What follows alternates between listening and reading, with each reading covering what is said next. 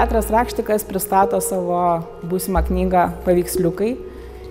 Knygą, kurioje labai gražiai sugyvena tekstas ir vaizdas.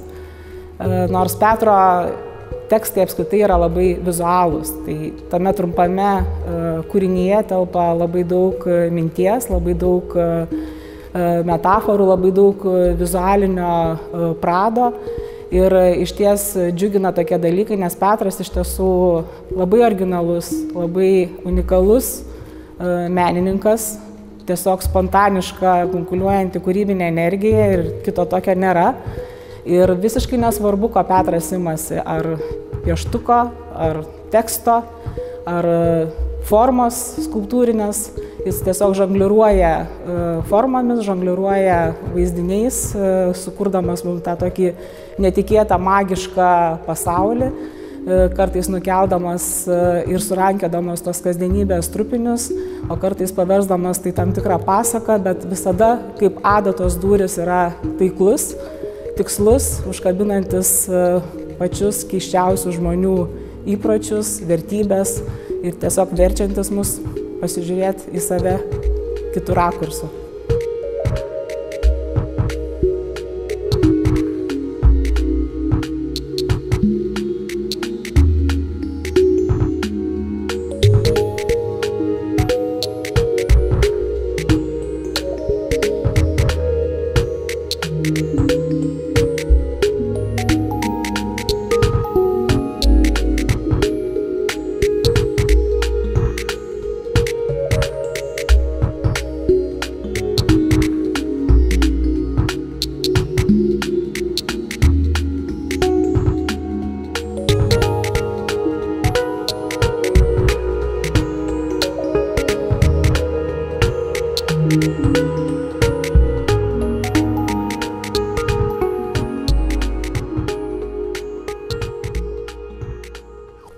Užuomarša.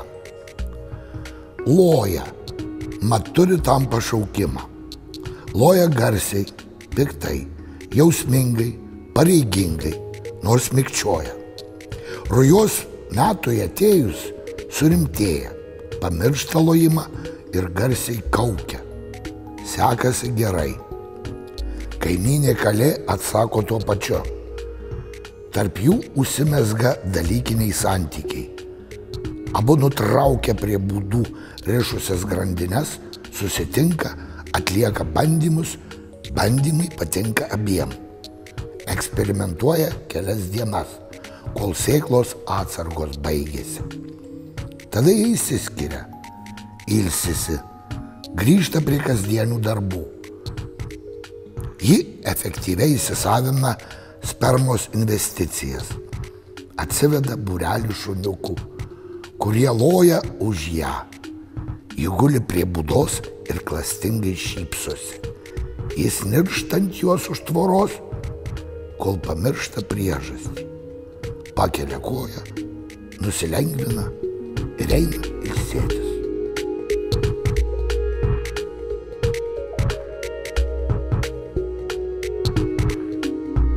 Dudelė. Išgirdęs dudelės garsą, bėga zuikis per laukus į morkų lysvę su baidyklėmis. Baimės pirais patrešia žemę, morka sugraužia ir skuba paupiu. Ant zuikio puola lapė, jis bėga, pabėga, šlostosi prakaitą.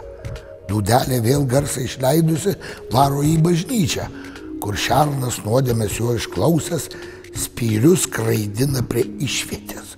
Ten baisis marvė pašokusi, vejasi, bėgdamas vemia, smarvė paslydusi atsilieka. Bėgikas kodžiai į vestuves. Ten šaukia dudelį, užsiverčia pasiūlytą taurę, melodija liepia šokti, pašoka. Užsigauna pakaušį į stalo apačią, užverčia jaunosios į joną, gauna spyrį į šoną, nulėkia prie šokėjų, tie kojas numindo. Staiga dudelė nutyla ir nukrinta šalia. Šniokščia miškas, spengia tyla, diena baigėsi. Zuikis atsargiai koja iškrapštęs duobutę, slepia dudelę, klausosi pastatęs ausis. Tylu, dūdelė nebeįsakinėja. Užsimerkia ir lygi ryto sapnuoja gyvenimą be dūdelės. Ryte pašoka ir lekia pagal dūdelės melodiją, kur pašauktas.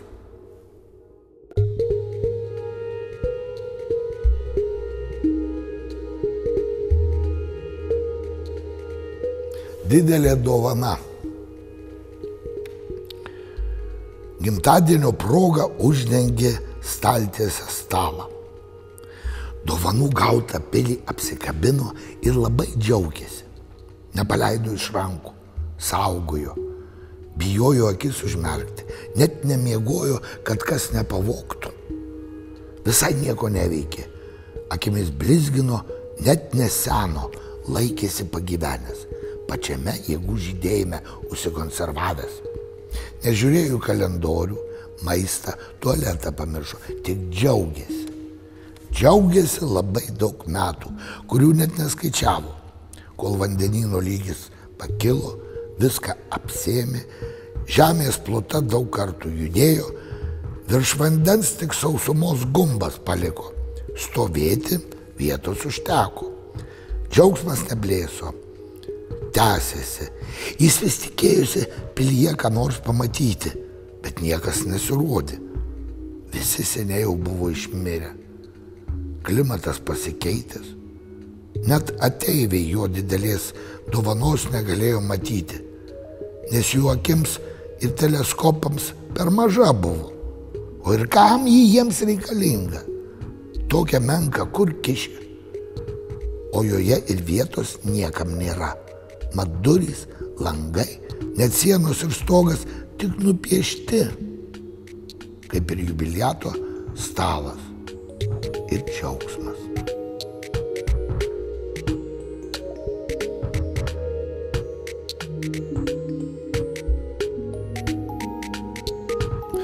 Museliavimo ypatumai. Skrido vabalas kažkur su savais reikalais bet kelią jam pastojo žvėjai su tinkleliu ir sugavo. Vabalas tvojo sparnais jam į delną, išskleidė laisvės reikalavimus, bandė įkasti. Žvėjas pakišo kabliuką, vabalas nurijo, nulėkė virš upės, skrido, kol baigėsi valas, šleptelėjo į vandenį, plakė sparnais, bandė plaukti, prisišaukė už akmens pasislėpusiai šapalą apskundė bjauriai pasielgusi žmogų, parodė užpakalėje kišantį kablį ir paprašė ištraukti. Gamtos mokslus baigė šapalas, tvojo uodegą į vandenį, griebė kabliuką ir ištraukė. Vabalas pamojavo sparnų likučiais, padėkojo daktarui ir nuplaukė pasroviui. Šapalas šoko iš vandens į orą skraidantiems vabalams parodė ištrauktą kabliuką, pasipuikavo prie saulę ir nuplaukė ratais per upę pažvėję, kuris su meškerė, su šypsena kietai sukastuose dantyse, akimis žuvį sekė, kol į krantą išvilkęs atgavo kabliuką, kitam vabalui į įsiūlės paspjaudė ir toli upėn sviedė su tais pačiais reikalais.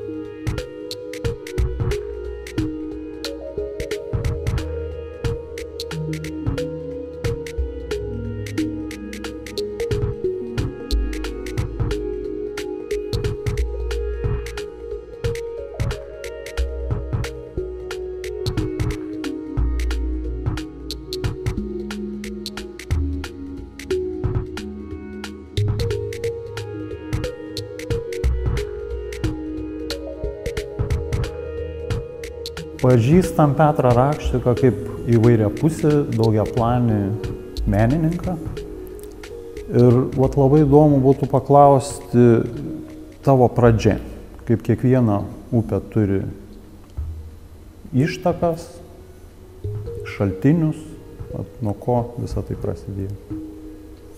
Vaikystėje norėjau būti bėgikas, kadangi brolis buvo vyresnis gerokai, bet jis mane pastumė į dailės mokyklą, ten pabiski pradėjo žaisti, piešėjas buvo prastas, įstojęs institutą. Jau gan aktyviai paaišiau, vas neišmetė, kadangi vien tik tai to užsiminėjau. O kai biski pramoka atsirado ir motivacija e, darbui. Teksto rašymai prasidėjo turbūt tik tai penktam kursė, kai dirbau iš bibliotekų dailininkų. Iš neturėjimo kas veikti, jie atsirado. Piešiniai, aišku, jie paraleliai, kadangi reikėjo kaip e, studentui juos atlikti. O ilgainiui, matyti, jie susiliejo į krūvą vieną, į tekstas ir, ir, ir kitas mano veiklos. Todėl dabar, vat, kai išėjau pensiją, esi visiškai laisvas ir smagu, kad gali daryti, ką nori, nereikia galvoti, kur tas kapeikas susidirbti. Ir tampi kurieji, tokiu būdu mano pensinį karojų, dabar gyvenu, tai va, ta pradžia ir buvo, nuo pradžių. Gal galiu papasakot, kaip radosi tavo pirma knyga? Pirmą knygą radus, pradžia prasidėjo studijų laikais, rašinėjau eilėraštukus, o paskui gavau paskirimą dirbonėnuose, čia rajone, mokytojauti. Tai įdomiausia būdavo vasaros, kai pinigų nėra, niekur negali išvykti, sėdi. Gyvenu prie ežero, antroje pusėje gyvenvietė, tai naktimis virdamas arbatą nu, ir aprašinėjai tą savo supačią aplinką, apie kaimiečius, apie lakštingalas. Tai tokie lyriniai tie eilėraštukai mano buvo, nes teksto aš jaunystėje nerašiau ir pradėjęs dirbti edakologijos fakultete Šiuliuose, parodžiau Stasio Tumėnai, kuris taip labai neįsijavo tos pirmos eilėraščių knygutės um, atsiradimą. Nu, tai buvo kaip ir stimulas. Paskui ilgoka pauzė, netyčia pateikiau tekstus iš Šiaurės Atenų savaitraštį. Ten taip smagiai priėmė. Na ir po truputį, po, po truputį pradėjau krepždenti jau tokias miniatūras literatūrinės padėjęs į šalį eilėraštukus, kurie paskui įsivystė į tai, kas dabar yra. Ir tai buvo ta pirmoji knygutė, berots 92 metais e, buvo Stasio Tamiena išleista e, edukologijos fakultete.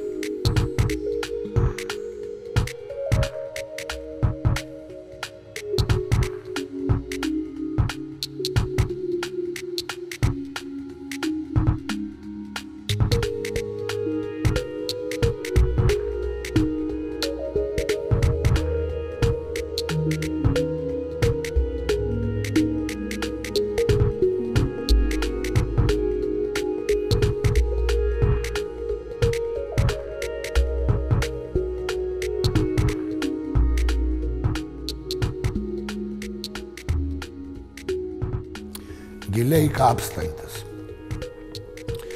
Darbštuolis kasdien kastuvų žemę kasė. Įvairias užduotis kėlė savo. Atkasęs užduotį dar giliau kapstė.